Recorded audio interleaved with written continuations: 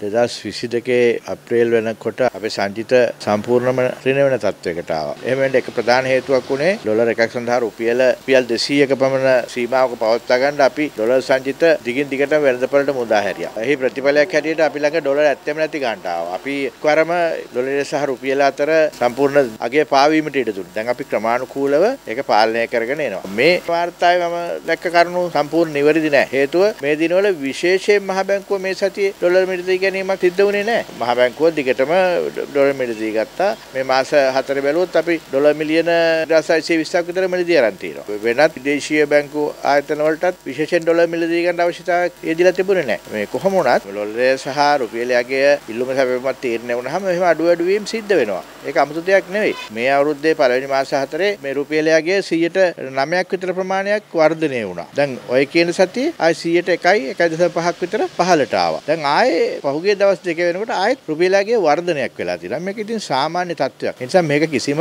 අනපේක්ෂිත තත්ත්වයක් නෙවෙයි. කිසි දෙයක් කලබලයක් ඇති කරන්න අවශ්‍ය නැහැ.